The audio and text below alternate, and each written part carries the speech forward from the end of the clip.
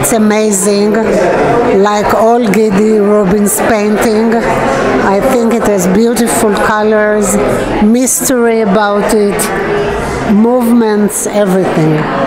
This was the image from the uh, invitation, and I found it really intriguing. I wanted to come check out the show. Uh, it's kind of mysterious. I love scenes like this where you're like, who is this character? Where are they at?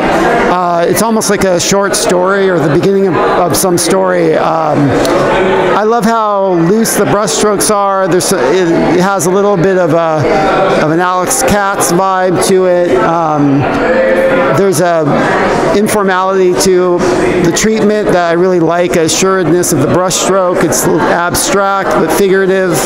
Um, it's really intriguing. Uh, I think it pairs well with another painting in the show, which is the one of the, the lake, the two people on the boat. Um, I think those are my favorite in this show. Very intriguing work. My favorite color in surrealist painting has got to be blue. I think it represents a lot of sadness, a lot of feelings.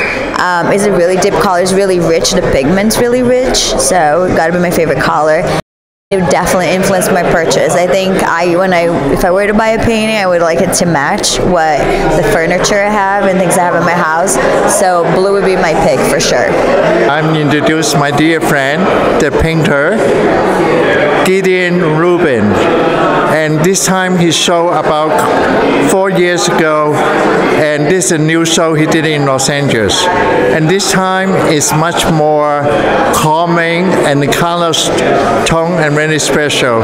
And compare what he used to do it in Europe, and this is very very special exhibition of Gideon. First impression of this painting um, was actually loneliness, but now that I've been taking a longer look at it, uh, I get the sense that the woman is actually questioning more her direction in life because she's looking off into the corner.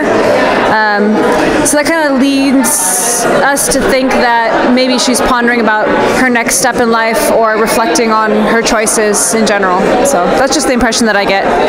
Solitude, questioning, um, maybe connectivity to nature.